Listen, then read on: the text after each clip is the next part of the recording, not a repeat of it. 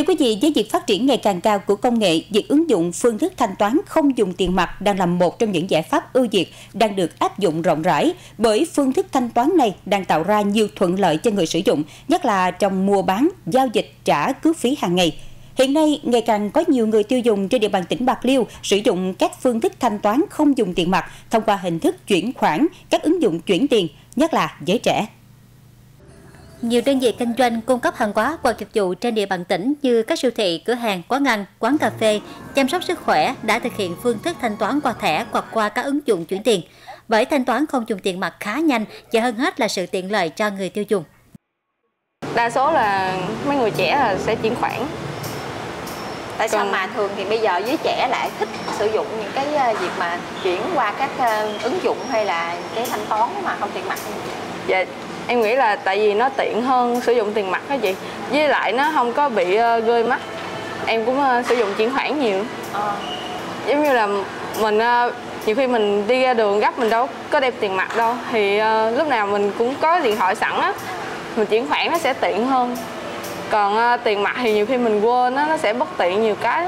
Với lại mình làm gớt luôn nữa. Em thấy là đa số bây giờ là giới trẻ Việt Nam cũng sử dụng nhiều lắm rồi đó chị không hề phức tạp. Sau khi mua đồ, nhiều người chỉ cần cầm điện thoại quét mã, nhập số tiền và chuyển.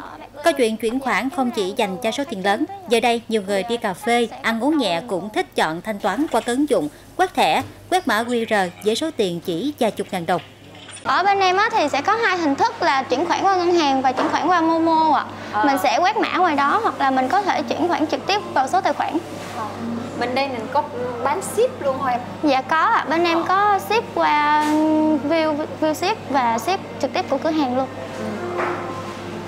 Thường thường thì uh, khách hàng sẽ chọn lựa cái phương thức thanh toán nào nhiều nhất em? Dạ, đa số uh, khách hàng ở bên em á, thì sẽ uh, thanh toán qua chuyển khoản ngân hàng. Một số khách hàng cũng có chuyển khoản qua Momo.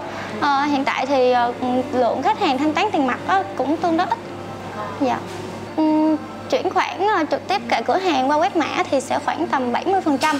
Còn lại thì ờ, khách hàng sẽ quét quét thẻ hoặc là thanh toán tiền mặt khoảng 30% còn lại. Đối với các bạn trẻ, phương thức thanh toán không dùng tiền mặt là phương thức mà các bạn chọn nhiều nhất khi đi chơi, ăn uống và sử dụng các dịch vụ khác. Bởi với các bạn, việc sử dụng công nghệ như một phần tất yếu cuộc sống của mình.